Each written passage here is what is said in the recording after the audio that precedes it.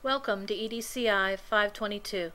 This video is a short overview of the online course that I hope will make you more comfortable with the Angel online environment.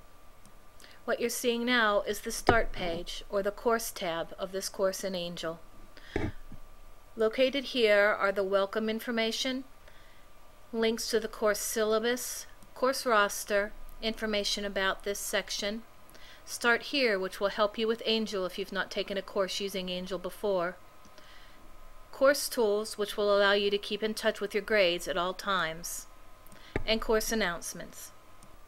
There are two main ways to navigate in Angel, using the tabs located at the top of the page and the course map.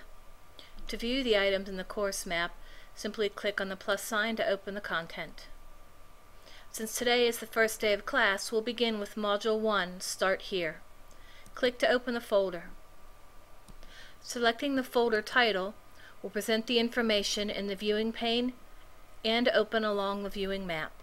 Since Module 1 is the first day of class, it will take you through course policies including information about the instructor, expectations, participation, and a policy survey, AU services including technical skills, student support, online learning, which presents a number of articles for you to read, an additional number of surveys, such as the Graduate Program of Study, the Social Media Survey, uploading your new profile picture to Angel.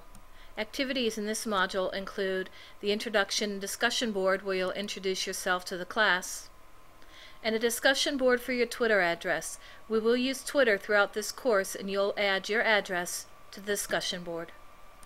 Each folder throughout the course is set up the same way. They all contain the resources and information that are required for you to successfully complete the module. At this time, you'll note that only three modules are visible.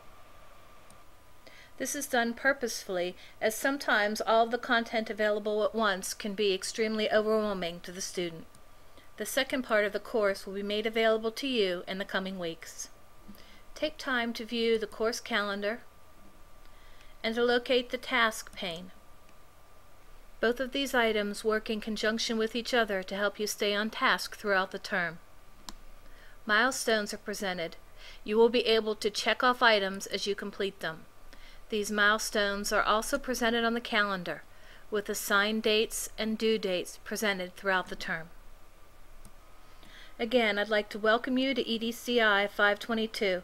I'm looking forward to working with you throughout this term.